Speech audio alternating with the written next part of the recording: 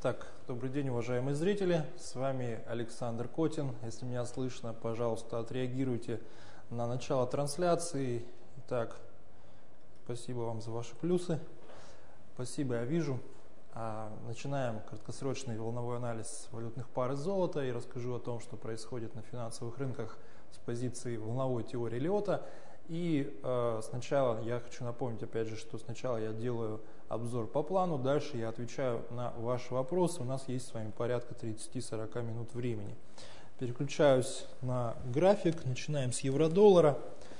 Э, и вот смотрю я на эту пару, и у меня совершенно другие ощущения возникают. Именно не мысли, а именно ощущения. По той же простой причине, что а, обратите внимание на то, что вот здесь вот образовалось уже несколько фракталов.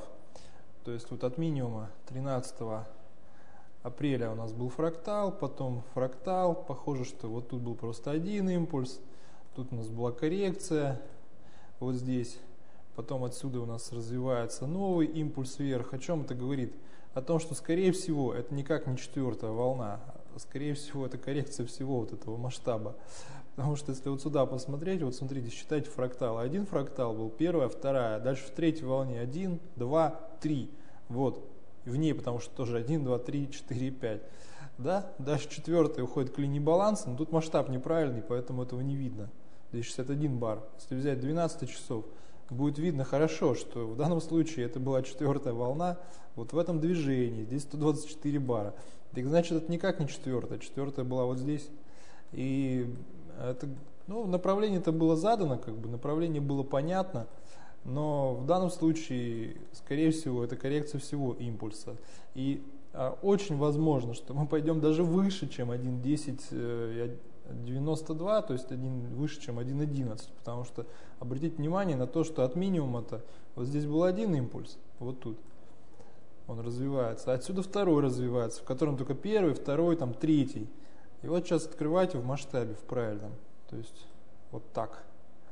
Вот отсюда примерно. Сколько тут? 72 бара на 4 часах. Ну, можно взять, конечно, от минимума и вот так вот. Да? То есть это уже не так.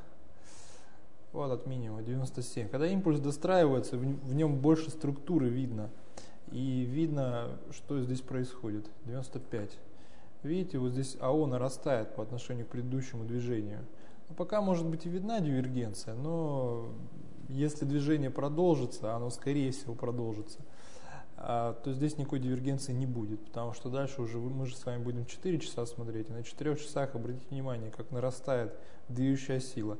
И здесь все линии баланса идут параллельно, то есть это говорит о том, что это движение с очень большой вероятностью, оно будет продолжаться, никакого затухания там просто нет, тем более мы вот э, к этим максимумам подбираемся уже очень близко, а тут был, вероятно, первый импульс в восходящем движении.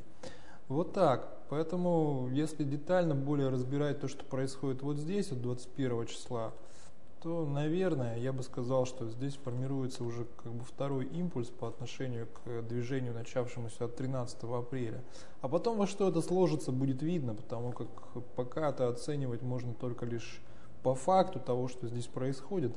Вот тут явно формируется второй импульс в импульсе, начавшемся от 21 числа. То есть вот в нем был один, коррекция, и вот э, следующий, который, естественно, имеет структуру, а, опять же, полноценного пятиволнового движения. Пока этого не видно, пока здесь только один импульс был, была коррекция, и новый импульс развивается. Но опять же, если взять вот так вот масштаб, сколько здесь, 144 бара, пока здесь видна дивергенция, но, естественно, ее не будет, когда мы уже вот перейдем на 2 часа, и здесь будет большее количество баров, если вдруг цена там пойдет вверх, а скорее всего она вверх пойдет, потому что дальше нужно оценивать уже вот это движение, вот так вот, да, и на 30 минутке вы увидите прекрасно, что в данном случае, если даже и говорить о завершении какого-то импульса здесь, то здесь даже третья еще не закончилась в импульсе от 27 апреля. Поэтому с очень большой вероятностью после завершения коррекции у нас, скорее всего, будет еще движение вверх.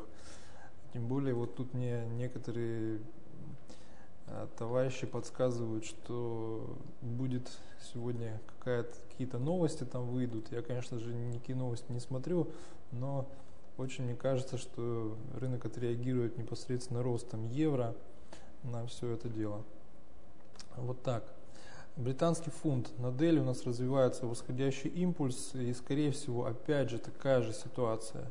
Обратите внимание на фрактальную структуру, то есть фрактал, фрактал. Вот здесь вот, скорее всего, был, было одно движение, коррекция была, и уже второй импульс. В импульсе от минимума 13 апреля развивается вверх.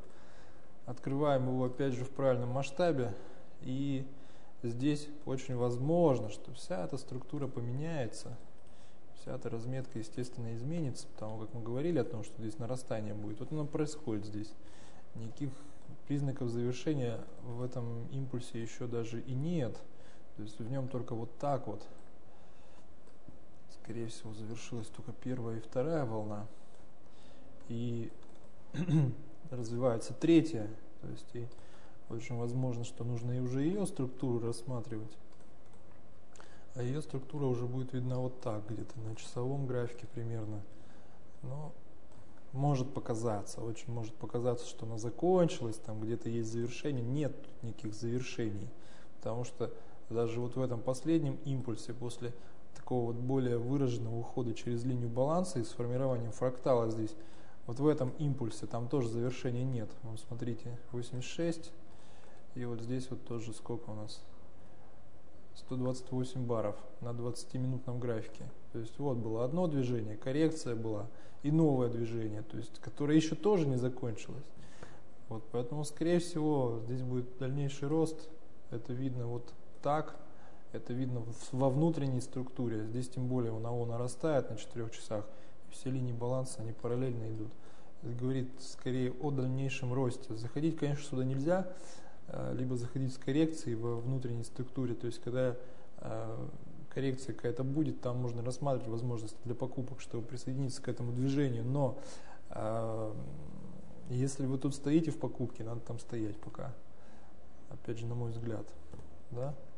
Швейцарский франк, так он и не дошел до 0.9468, но скорее всего дойдет, потому как внутри Э, движение от 23 апреля, вот отсюда от максимума, скорее всего, здесь развивается импульс, он застрял просто в четверке, такой вот длительный. И очень возможно, что все-таки он будет добивать этот минимум. Но это просто надо время, либо какая-то новая входящая информация нужна для того, чтобы э, рынок сдвинуть с места. Но старший интервал, старший интервал имеется в виду 12-часовой, на котором видно формирование восходящего импульса, нам говорит о том, что коррекция это не закончилась еще. Скорее всего, она будет заканчиваться именно э, добоем вот этого минимума от э, 6 апреля 0.9468. И только потом отсюда можно будет рассматривать покупки. Вот. Австралийский доллар вчера, вчера резкое движение было, очерчена целевая зона вот здесь то есть между, 30, между 38,2 и 50 процентов. Ну, вероятно, она, вероятно, цена сюда и движется. А далее то, что мы видим в структуре, тут виден импульс, коррекция, импульс, коррекция, импульс. Ну и вероятно, вероятно, вероятнее всего вот так это и выглядит. А, что вот здесь у нас развивается тройка в импульсе от 14 от 14 апреля. То есть вот один был импульс, второй импульс, соответственно, структура этого движения, она тоже состоит из нескольких импульсов. И вот АО нарастает, она показывает вам, что никакого завершения в этом движении еще нет. Там только коррекция может быть, с которой можно зайти.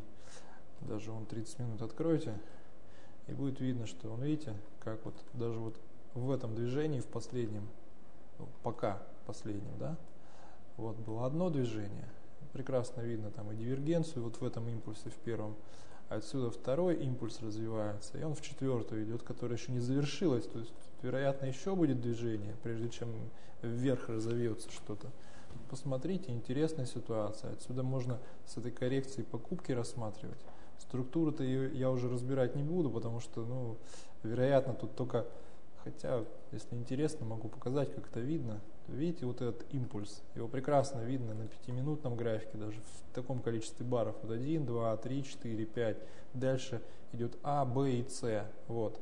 То есть очень возможно, что еще даст импульс. Вот тогда можно будет оттуда зайти в хорошую покупку, на мой взгляд. Вот. Иена говорили о том, что эта пара движется продолжении своей коррекции, то есть эта коррекция там не завершилась, и очень возможно, что мы будем добивать еще минимум 115-48, то есть очень возможно, что здесь нисходящий импульс развивается от 10 марта, то есть вот этот импульс я имею в виду. И в данном случае здесь 145 баров, тут было одно движение, вот оно. Дальше коррекция, и в этом импульсе, в этом вот импульсе у нас, который вот отсюда начался, от 13 апреля. В нем только был один импульс, коррекция, и вот новый импульс развивается. Он не завершен, потому что, ну вот смотрите, если структуру вот этого движения разбирать уже 23 апреля, то после, скажем так, завершения коррекции предыдущего движения, то обратить внимание здесь надо непосредственно, даже вот на 6-часовом графике это будет хорошо видно, вот на это, то есть на положение линий баланса, которые вам говорят о чем? О том, что никакого завершения тут нет, это продолжение тенденции, только продолжение, точнее, импульса. А, открываем вот так масштаб 103 бара. Видим вот эту дивергенцию. Да? Смотрим последний импульс, вот этот. В нем тоже ничего не завершилось еще. То есть здесь это внутренняя коррекция какая-то идет сейчас, но это никак не разворот движения. И здесь очень возможно, что после коррекции можно рассмотреть возможности для продаж какие-то. Вот так. Ну, тоже интересное движение, правда, иена, она, а, доллар иена, она более такая а, вялая, она периодами только бывает, э, скажем так, волатильна. А в основном как бы пара достаточно, когда особенно находится в каком-то диапазоне, она себя ведет только временами, дает какие-то импульсы хорошие. Вот. Но, в принципе, можно внутри дня спокойно поторговать, пока, я думаю, вниз.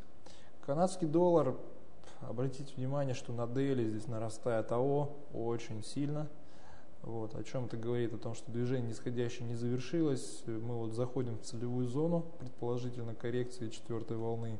Так как это импульс здесь вообще-то недельного графика развивается, вот он, 42 бара, то его цель это вот эта линия баланса, опять же, видите, либо за нее мы можем уйти, на недельном графике выделена целевая зона по отношению к третьей волне этого импульса.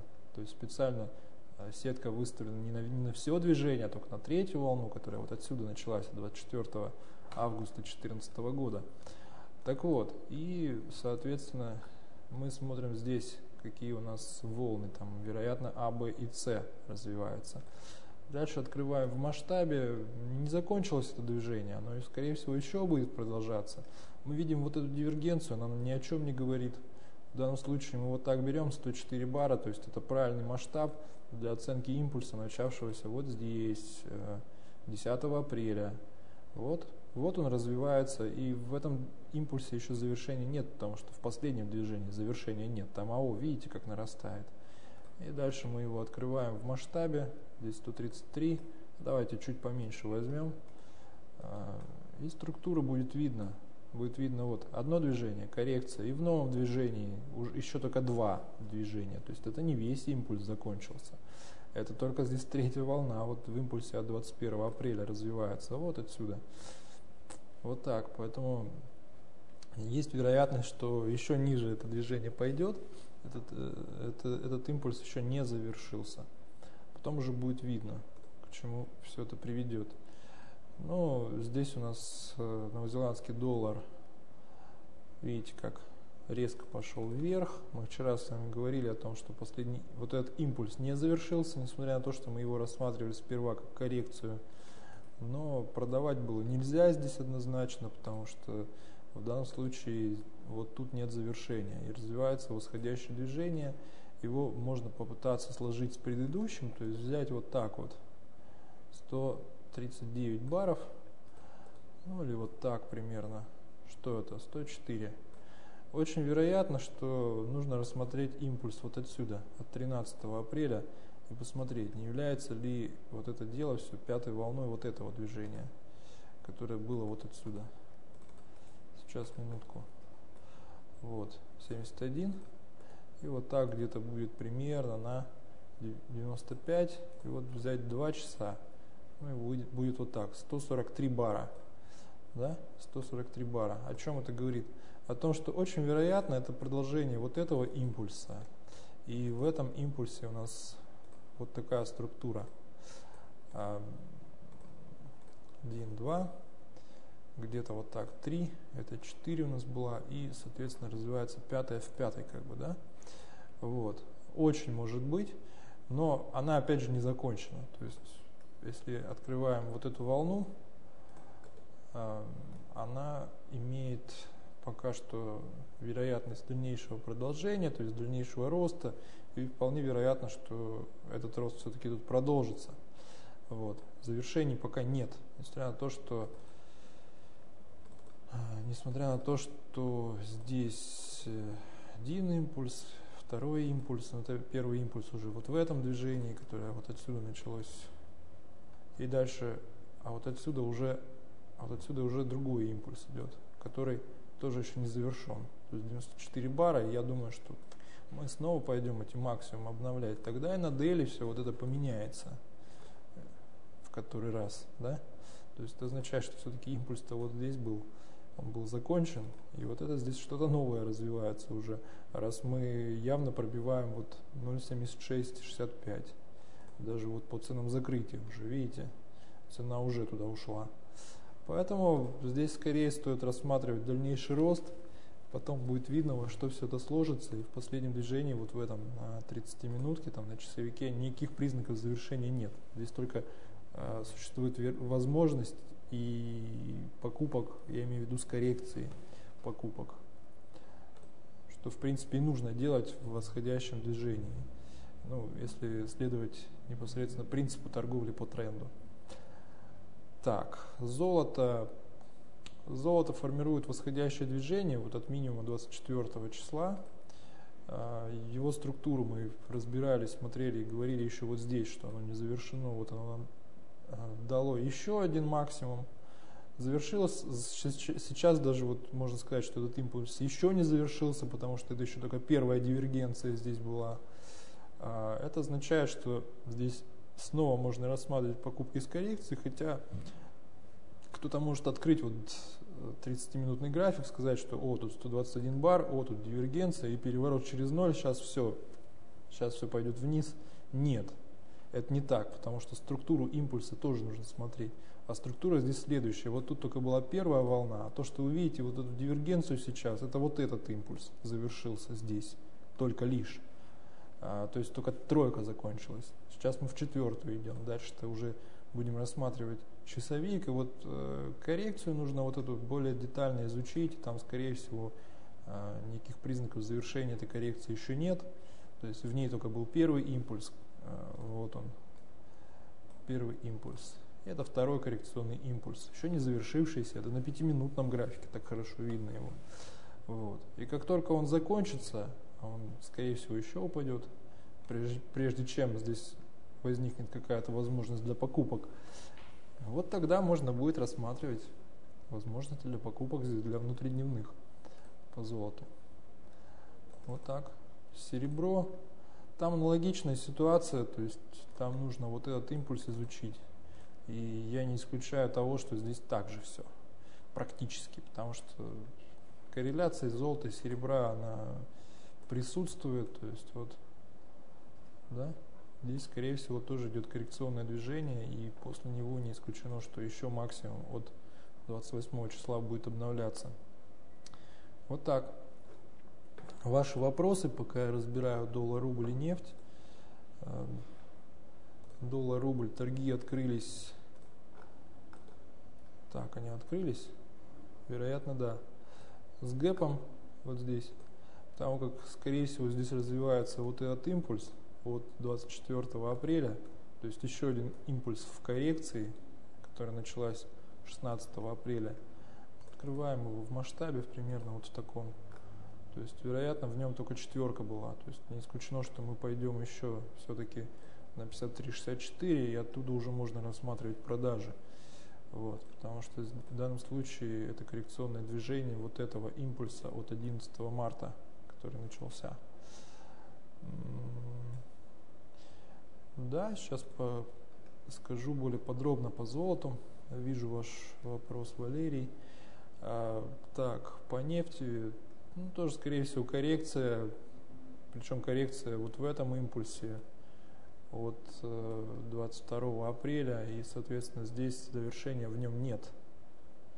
Я имею в виду вот в этом движении. Никакого завершения здесь нет. Здесь, скорее всего, коррекционная волна, после которой очень возможно развитие еще импульса. Какие границы коррекции по золоту? Здесь нужно смотреть границы коррекции следующим образом. А, нужно выставить целевую зону вот так. То есть я специально беру, ну, если говорить непосредственно о той структуре, которую мы здесь видим, это скорее всего вот так. То есть здесь где-то первая волна, вторая волна. Чтобы убедиться, что тут действительно импульс, ну, на пятиминутке откройте и увидите, что это так. И есть, сколько тут баров? 141. Вот, пожалуйста. Пожалуйста, видно, что здесь полноценное пятиволновое движение, была коррекция, отсюда новый импульс пошел. Вот именно вот отсюда. Сейчас все разложу как следует. Вот. И дальше на 30 минут уходим и смотрим уже по отношению вот к этому импульсу. Но если хотите, вот разметка. 1, 2, это только 3. То есть мы ожидаем коррекцию четвертой волны, волны и, соответственно, возможности, скорее всего, для покупок будут открываться откуда-то вот отсюда, то есть 38,2, 50. Вполне вероятно, потому как на этом же уровне находится четвертая волна а, внутри третьей волны. А чаще всего такое бывает, что четвертая волна всего импульса, она может уйти на уровень четвертой волны внутри третьей волны. Вот так. Ну, соответственно, я бы ожидал более глубокой коррекции и, соответственно,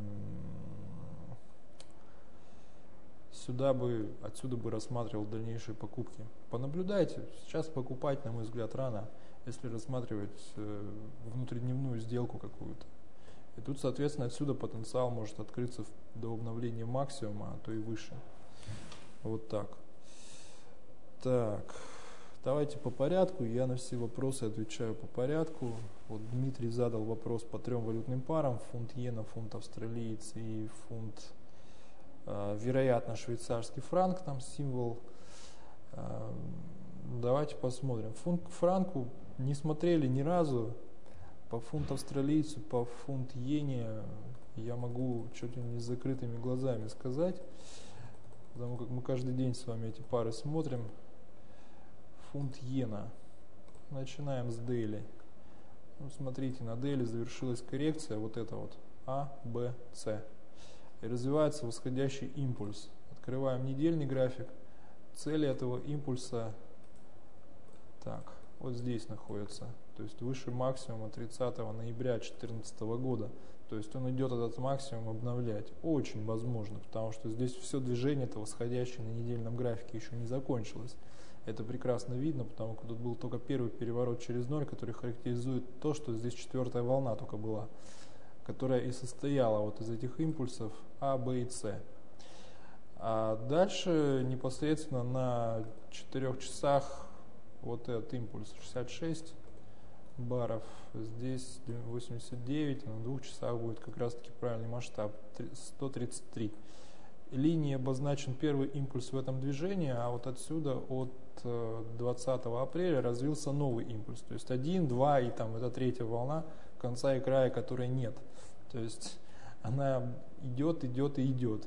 Вы э, наверняка обратили внимание на то, что вот здесь есть дивергенция, которая в данном случае она ни о чем не говорит. Она говорит только о том, что это подробности третьей волны, в которой этих дивергенций может быть э, плюс 100-500. Да? Вот. И, соответственно, в данном случае, если этот импульс попытаться открыть в масштабе, здесь 83 бара, а на часовике уже как бы многовато, то есть где-то надо взять 90-минутный таймфрейм, чтобы его исследовать. Да даже и так его структуру видно. Вот здесь был один импульс этого импульса, а вот тут он закончился. Он, видите, вот эту дивергенцию. Откройте его в масштабе и увидите, что это так и было. А, а вот отсюда у нас еще движение идет, вот отсюда. И вот смотрите, как аллигатор поворачивает. То есть все три линии баланса поворачивают за ценой. Они вам никакой напряженности в данном случае не, не дают. Они повернут за ценой и пойдут параллельно цене. Как это было и здесь, и здесь, и здесь. То есть даже никаких намеков на коррекцию нет. В данном случае рассматривать сигналы на покупку какие-то возможно только с коррекцией. А, но пока, скорее всего, она здесь и не ожидается даже, потому что даже то, что мы видим на 30-минутном интервале, очень вероятно, что это выглядит вот так. Тут был один импульс, была коррекция, и отсюда развивается еще движение, в котором вот еще импульс, и еще импульс в импульсе. То есть очень возможно, что никаких признаков завершения тут нет. Потом будет видно, во что это сложится. Пока скорее всего, это движение продолжается и продолжится. Пара, так, дальше, фунт австралиец. Ну, вот, наконец-то я вижу интересные вопросы, можно ли входить. Фунт австралиец я вчера на среднесрочном анализе детально разбирал.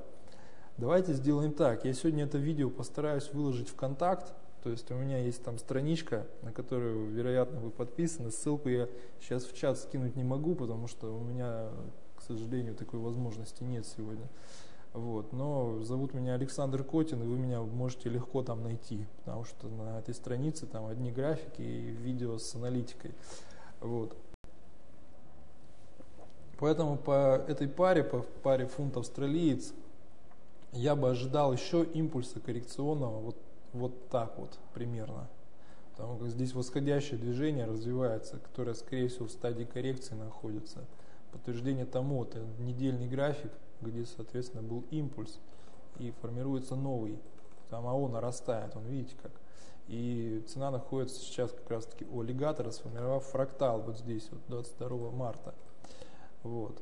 Это говорит, что, это говорит о том, что здесь либо первый импульс уже вверх в новом движении, и он вот так корректируется долго, либо здесь еще будет движение. Вот э, сюда, куда-то в данную целевую область, потому что здесь обозначен максимум первой волны 1.8673 и обозначен э, минимум предыдущего импульса вот в этом нисходящем движении. вот не видно, вот он, вот этот.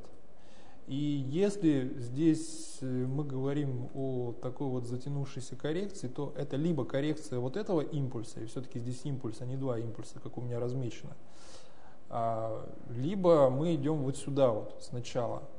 Здесь это сложно сказать по той лишь простой причине, что а, ну, тут надо оценить вот это движение, которое вот отсюда началось. Вот тут вот были всякие там тройки, коррекционные какие-то импульсы. Надо оценить то, что вот здесь у нас. Вот. Сколько тут? 70 баров. В данном случае на 30 минутке будет 135. И не исключаю того, что в данном случае это не просто восходящее движение, а то коррекция, коррекция вот этого импульса. Вот. И может он еще добить минимум. Надо, конечно, и туда зайти, внутрь, и там посмотреть, что его минимум, во-первых, нужно определить. Это очень важный момент, откуда это все началось. А вот отсюда, вот отсюда началось.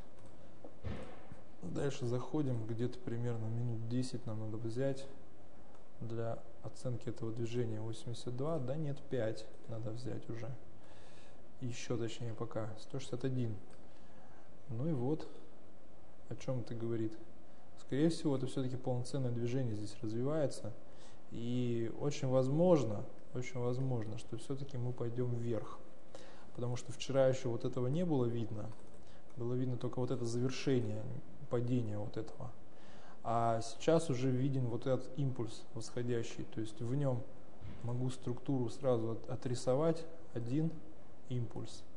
Отсюда второй импульс, даже не отсюда, а вот отсюда. Тут был минимум.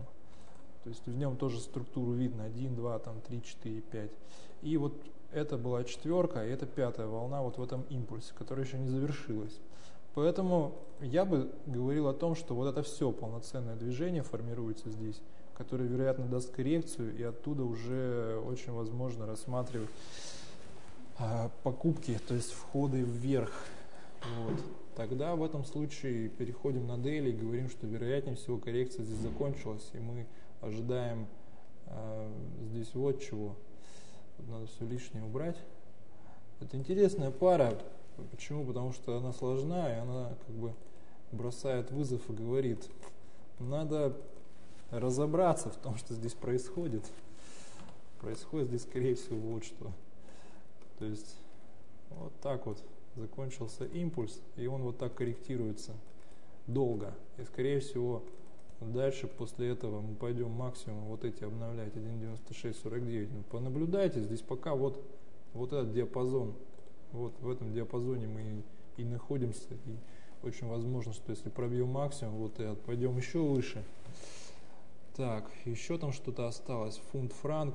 Ох, это, эту пару я не смотрел честно говорю, практически никогда. А может быть и когда-то давно. Но при всем при этом мне ее придется открыть. Раз вы мне такой вопрос задали, я должен на него ответить. Вот.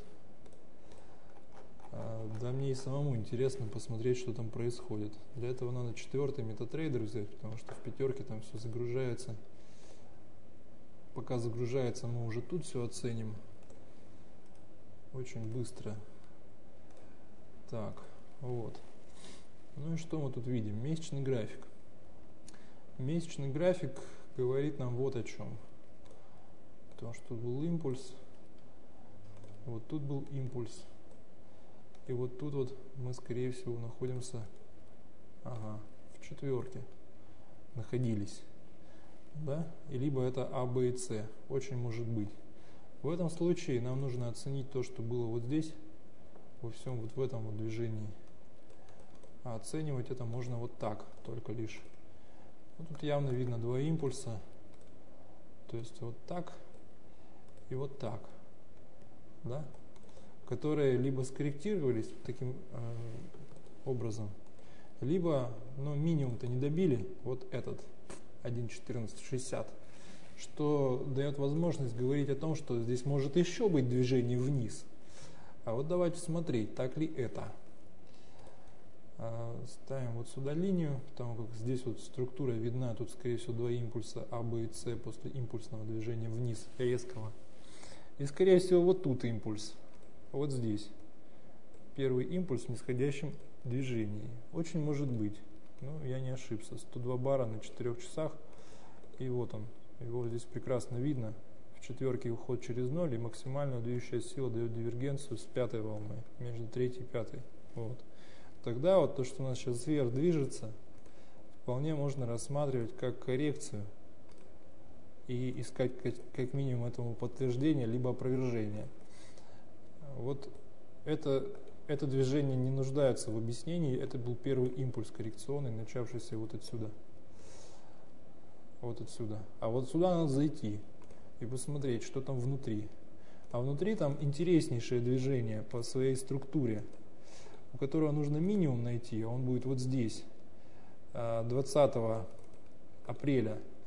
И вот, 170 баров. И вот она, огромная дивергенция между вот этим и вот этим импульсом. О чем это говорит? о том, что в этом импульсе было, была первая волна, вот здесь, дальше дала на коррекцию, и вот тут вот еще импульс, вот в этом движении, вот тут. Тут была какая-то, вероятно, сложная коррекция. И вот здесь вот тоже еще импульс, то есть очень вероятно, который может дать нам вход вниз. Но опять же надо оценить его структуру, он-то ведь еще не закончился, это же видно. Это же видно, что в нем только третья волна развивается. Вот смотрите по структуре АО, даже на график цены не надо смотреть. Вот здесь порядка там 150 баров. Вот было одно движение, вот второе движение. Вот, пожалуйста, в нем первая дивергенция, вторая дивергенция. Что говорит о том, что вот в этом импульсе развивается только третья волна. Вот отсюда. То есть не один, два, а вот три. То есть третья в третий сейчас идет и никакого завершения в ней пока нет. То есть пока здесь она растет, растет и растет. Несмотря на то, что с предыдущим импульсом дивергенция есть. Вот так интересно это все происходит. Следующий вопрос. Пара австралиец иена. А, пара австралиец иена. Ага, мы, по-моему, эту пару вообще не смотрели никогда. А, так, что ж, посмотрим. Это недолго ее открыть. Опять же, нам понадобится старый добрый четвертый метатрейдер, потому что в пятерке там все загружается сильно долго. А, вот, недельный график. Недельный график. Что здесь видно? А, это месячный даже. А, так. Здесь, вероятно, какой-то расширяющийся клин, может быть, идет, или еще что-то. Какие-то волны, в основном треугольники, похоже. Одно движение, там еще движение. И нас-то не интересует даже вот это, нас больше интересовать будет то, что вот тут происходит. Потом во что это сложится, будет видно. Вот. Австралиец Йена. Да, похоже, разбирал я эту пару. Потому что я помню, что вот это импульс, и отсюда идет еще один. Я почему так беру с недельного графика, потому что это важно. важно понимать, что какие тут внутренности и что там было. Смотрел я эту пару как-то давно, или она с, канад, с, э, с канадец Йена сходит, сходно, по-моему. Да, ну, в общем, смысл в том, что а, здесь, если брать непосредственно недельный график, тут ситуация вот какая. Тут был импульс, и развивается восходящее движение вот отсюда. И структура здесь вот какая. Тут один, вероятно, даже вот тут она закончилась. И вот еще импульс. То есть 1, 2 и 3. Дальше выделяем вот так вот. Берем по ценам закрытия. Непосредственно вот так. И вот здесь вот ставим линию. Оставляем ее. И смотрим, куда у нас ушло вот это вот падение. И тут, вероятно, развивается вот А, Б и С. Вот, вот так вот. Длительная коррекция, которая давно здесь существует, говорили о том, что здесь импульс полноценный. Я точно помню. Вот он здесь закончился. Вот. Там по ценам закрытия как раз таки вот макс, минимум был вот здесь. То есть вот она дивергенция, ее здесь видно.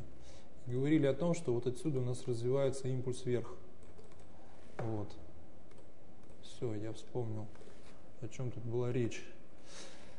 А, и тут вот это движение нужно анализировать. То есть в нем вот так, коррекция, а отсюда новый импульс идет вверх. И нет никакого там завершения еще, то есть, э, скорее всего, коррекция и дальнейшее продолжение здесь идет. То есть э, здесь нет э, возможности для продаж однозначно, то есть здесь восходящее движение, в котором лучше всего вести себя следующим образом. Это покупать с коррекцией, но если даже рассматривать там 30-минутный график, очень возможно, что мы можем даже прямо сегодня пойти обновлять вот эти максимумы. Они образованы вчера. Вот. То есть здесь ситуация схожа с австралийцем. То есть даже вот в этом движении видно одно движение.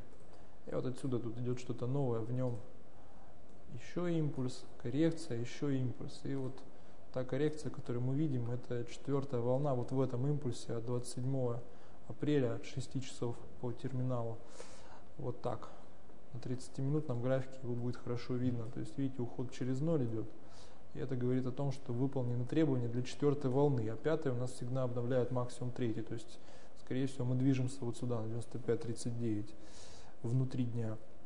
Дальше вопрос Данила. По евро коррекция импульса от какого числа? Вы мне задаете вопрос, я не совсем понял, от какого числа, какую коррекцию по евро вам разобрать. Вот, смотрите, коррекция началась вот здесь. То есть от минимума 13 марта в структуре у нее одно было движение, вот в этом движении два импульса, был один и второй. И вот тут новый импульс развивается, в котором один импульс – и вот второй импульс, в котором завершения еще никого нет, то есть, скорее всего, мы идем еще выше. Видите, мы уже максимум обновляем вчерашнее. Вот. И нет тут пока никакой остановки. И цели, скорее всего, будут находиться даже вот по отношению вот к этому движению надо смотреть. Примерно на каких-то значениях, вот я думаю, здесь где-то. 38,2, 61,8. То есть э, по отношению вот к этому импульсу. А за, этим, за пределами этого импульса еще два есть. То есть, скорее всего, это только третья в третьей заканчивается. Очень может быть. Понаблюдайте, движение интересное. Можно ли сейчас сходить в покупку евро-доллара или дождаться коррекции? Да, мне кажется, уже поздновато. То есть, если вы не в рынке сейчас присоединяться в это движение, вот сейчас вот к этому движению, ну купите вы здесь, да, а оно даст какой-то откат, вы испугаетесь и скажете, ага, она разворачивается. Прямо сейчас нет. Вот где-то от линии баланса можно было рассматривать возможности для покупок. А, вполне. Но в данном случае я бы не стал сюда заходить, потому как я стою вот отсюда, в этом движении, если честно. Вот, вчера присоединился к этому движению, поскольку здесь коррекция завершилась, и можно было сюда войти. И выходить пока я не собираюсь оттуда. Рано, рано, потому как все движение, вот это, не завершилось. И плюс еще здесь за пределами еще импульс есть. То есть очень возможно, что еще будет движение. Так, следующий вопрос. Это был вопрос Евгения. Вопрос Вадима. Возможно, что по рублю была четвертая волна только в третьей, а не всего импульса. А я про это и говорил. Я про это и говорил, что это, это коррекция, четвертая волна вот в этом импульсе. Вот в этом импульсе. Да, то есть это четвертая в третий. Вы имеете в виду какой график? Четырехчасовой или какой? Какой максимальный временной интервал мне рассматривать, если я торгую на М5, М15? Во-первых, вы не должны торговать на М5, М15. Вы должны выбрать либо М5, либо М15. Не надо прыгать с таймфрейма на таймфрейм. Вы запутаетесь. Это однозначно. То есть все сигналы вы должны работать, отрабатывать только в вашей временной структуре. То есть есть такое понятие рабочий график. Рабочий график это тот график, где вы исполняетесь. Да, вы можете смотреть, анализировать э, большое количество разных таймфреймов. Но если вы исполняетесь, допустим, в 5 минутке, вы должны исполняться в 5 минутке. Если вы исполняетесь в 15 минутке, вы исполняетесь только в 15 минутке. Я имею в виду, что исполняете сделки, совершаете сделки. Вот. Это, это раз. А, ну, на мой взгляд, анализ М, М, М15 и происходить это должно следующим образом. То есть, вот, допустим, открыт у вас пятиминутный график, на котором вы торгуете. Вы соседний график открываете, где вы анализируете его. Вы сделали анализ, закройте его, он не должен вам мешать. Все сигналы исполняются уже непосредственно в пятиминутном графике. Вот лично я делаю так в процессе сделки там я не анализирую рынок, то есть я анализирую рынок только на предмет входа. Вот. А входить на М5, э, ну да, если это требует достаточно большого времени. Сейчас я не буду вдаваться в подробности планирования и тайм, тайм-менеджмента и, и подобных вещей э, для трейдера. Для этого есть специальные семинары, на которых, э, собственно, я об этом тоже рассказываю и рассказывал. Вот. Но смысл в том, что вопрос ваш, звучал как, какой максимальный интервал рассматривать, если вы торгуете на М5. Вы должны видеть общее направление рынка. То есть я, например, делаю вот так еще. То есть я могу два э, экрана открыть. Э, вообще, вообще я работаю, имея два монитора на 27 дюймов. А, и, соответственно, это помогает очень сильно, потому что на одном мониторе вы можете открыть, допустим, вот таким образом. Вот, например, там евро-доллар у вас, да, то есть это ваш рабочий интервал. Вы его берете, выстраиваете как-то вот так вот, да. И, соответственно, вы видите здесь M, M5, да. А во втором окне, например, вот здесь берете и выстраиваете ну, например, М30. То есть вот если вы работаете на, 15, на 5-минутном графике, то вам скорее подойдет либо часовик, а, либо М30, либо тот интервал, где вы будете, вот смотрите, от начала импульса до его завершения видеть минимум 100 баров, то есть вот отсюда. Поэтому как бы я варьирую этот график таким образом, чтобы вот здесь видеть от 100 до 140, граф, от 100 до 140 баров. То есть как только этот интервал меняется, допустим, да, то есть импульс здесь достраивается, я могу взять, допустим, э, полуторачасовой график, его построить в четвертом метатрейдере и вот так вот открыть рядом. И на 90 минут таймфрейм могу здесь открыть спокойно. Вот. Я надеюсь, не нужно объяснять, как он строится а, в четвертом метатрейдере, потому что сегодня не тема этого семинара явно. И надо заканчивать уже, времени-то нет. Вот. Ну и все. Я вижу, что время вышло. А, я благодарю вас за ваши вопросы, они сегодня были интересными. И на этом у меня все. Благодарю вас э, за внимание. Э, встретимся завтра в 10 часов, также по московскому времени. Желаю успехов. До свидания.